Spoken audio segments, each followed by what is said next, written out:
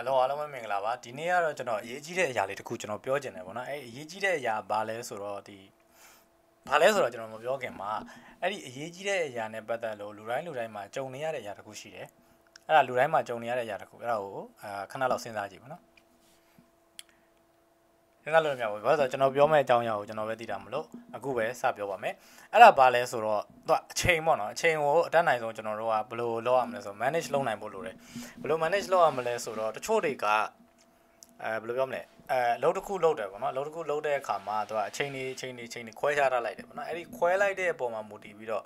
သူတို့တွေကဘယ်လိုပြောမလဲဆိုတော့အားလဲချိန်ရတက်တက်နောက်အလုပ်လုပ်ချိန်ရတက်တက်အဲ့လိုမျိုးကိုတက်တက်စီအဲစနစ်တကျနဲ့ခွဲထားတာမျိုးမဟုတ်ဘဲနဲ့ အားလဲချိန်တက်တက်မပေးတော့ဘူးပေါ့နော်အားလဲချိန်တက်အားလဲချိန်ပြောပြောချင်တာဗျာအားလဲချိန်လုံးအားလက်ချိန်ရတဲ့အခါမှာလည်းဒီအားလက်တဲ့အလျောက်ကိုသူကအဲ့ဒီအချိန်ကိုကောင်းကောင်းသုံးချတယ်နောက်တစ်ခုကကျတော့သူကအလုပ်လုပ်နေတော့မှာပဲကိုအဲ့ဒီအလုပ်လုပ်တဲ့က9မိနစ်လောက်တို့နောက်ပြီး10မိနစ်လောက်တို့15မိနစ်လောက်တို့အဲ့လိုမျိုးခိုးခိုးပြီးတော့အဲအနားယူတတ်တယ်ဗောနော်အဲ့ဒါတွေကအရန် waste ဖြစ်တယ်အဲ့ပြောချင်တာဗျာ ဟဲ့ဟိုနေ့တစ်နေ့မှာကိုကမှစာလေးလာမှာပဲဖြစ်ဖြစ်အလုပ်လုပ်မှာပဲဖြစ်ဖြစ်တခုခုကိုလုပ်တော့မယ်ဆိုရင်ငါဘယ်နာရီကနေဘယ်နာရီစာလေးလာမယ်အဲ့ဒီလေးလာနေတဲ့အချိန်တော့တင်မှာငါအားလက်ချိန်ကဘယ်နှမိနစ်ထားမယ်နော်ဘယ်နှမိနစ်ထားရင်အဲ့အားလက်ချိန်ဆိုအားလက်ချိန်မှာလုံးဝအပြည့်အဝနားယူလိုက်ပြောချင်တာကမှကိုကဟိုမှာဟောပေါ့နော်45မိနစ်လောက်စာကြည့်တယ်15မိနစ်နားယူတယ်ကျင်းဒီပါအဲ့ဒီ15မိနစ်ကိုပြည့်ပြည့်ဝဝနားယူလိုက်အဲ့ဒီပြည့်ပြည့်ဝဝအနားယူလို့ရတယ်လို့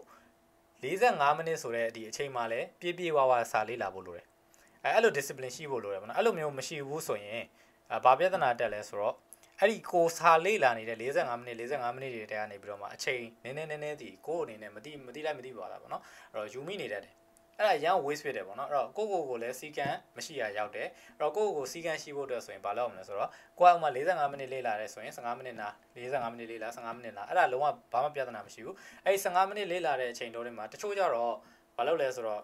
တချို့ကြတော့ဒီဒီအဲ့ဒီ နားတဲ့အချိန်ကိုသူတို့တုံးတုံးချတာကြတော့သူကအာယုံအာယုံပြောင်းလိုက်တာပဲရှိတယ်တချို့ကြတော့လေဒါကြောင့်စာအုပ်ဖတ်လိုက်တယ်စာအုပ်စာလေးလာလိုက်တယ်ဟိုမှာတချင်းနားထောင်လိုက်တယ်ဟိုမှာတချင်းဆိုရင်လည်းအဲ့တချင်းကကိုယ့်ရဲ့စာနဲ့ပတ်သက်တဲ့တချင်းကိုပြောင်းပြီးနားထောင်လိုက်တာမျိုးဖြစ်နေပေါ့နော်တချို့ကြတော့လည်းတခြား relaxation ဖြစ်အောင်လို့ဒီဟိုပေါ့နော် music လေးတွေနားထောင်မျိုးနားပြောင်းပြီးနားထောင်လိုက်တာမျိုးလည်းရှိတယ်ဘယ်လိုပဲဖြစ်ဖြစ်အဲ့ဒီ15မိနစ်ဆိုတဲ့အချိန်လေးကိုကောင်းကောင်းနားယူအဲ့လိုပဲ45မိနစ်ဆိုတဲ့အချိန်ကိုလည်းကောင်းကောင်းအာတခုခုလုပ်ဖို့လိုတယ်အလုပ်အလုပ်ဆိုလဲလုပ်ပေါ့နော်အဲ့တော့စာလေးလာမယ်ဆိုလဲစာလေးလာ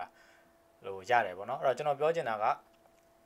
စူပေးတံပေးပေါ့နော်စူပေးတံပေးစနစ်နဲ့အချိန်ကိုစီမံခန့်ခွဲပါဆိုတဲ့အကြောင်းအရာလေးဖြစ်ပါတယ်အဲအဲ့တော့အားလုံးပဲကျေးဇူးတင်ပါတယ်ကျွန်တော်ရဲ့ဒီအတန်နဲ့ပတ်သက်ပြီးတော့တိတ်ပြီးတော့အဆင်မပြေရင်လည်းတီးခန့်ပြီးတော့နောက်ထောင်ပေးကြပါအားလုံးပဲကျေးဇူးတင်ပါတယ်